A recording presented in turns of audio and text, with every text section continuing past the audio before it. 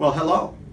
As we look into this next video that talks about leading teams in a rapidly changing VUCA environment, as we referred to it, um, there's another concept that comes from the fighter jock days that uh, is very applicable to organizations.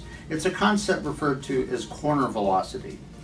Uh, as fighter jocks know that when you're having to maneuver an airplane rapidly, when you're perhaps fighting in a, in a situation in air-air combat, there's a concept called corner velocity, and it's the the speed at which you can turn your airplane, you can maintain the maximum G load, and you can turn the quickest, tightest turn, and yet still maintain your energy. I remember one time I was uh, on a William Tell Worldwide Air Gunnery Competition team for our squadron that was competing. And one of the things that we tried to do was to see if we could go same circle, as fighter pilots would understand it, and to pull the max G load to see if we could get our target on the uh, drone quicker.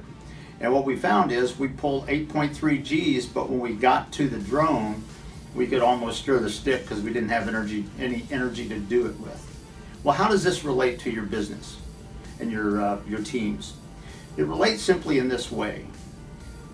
What would you say the corner velocity is for your teams? How quickly can they adjust?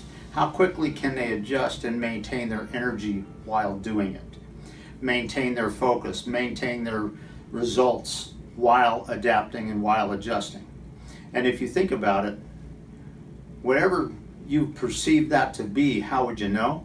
And also, what do you need to do as the leading as the leader of that team to try to reduce that so that your team can adapt quicker, your team can adapt uh, in a tighter way, in a more immediate way to meet clients' needs, but to do so without losing your energy.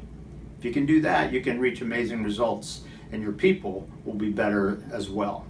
So I just leave that with you to consider as you go forward and um, uh, we'll look forward to the next video. Hope you enjoyed this video. We welcome the opportunity to maybe have a further conversation with you. Uh, my contact information is uh, displayed there on the screen. And uh, if you would like to give us a call or contact us, we'd be more than happy to just have a conversation with you. Uh, again, hopefully uh, you're finding value in it, and we look forward to maybe talking with you further.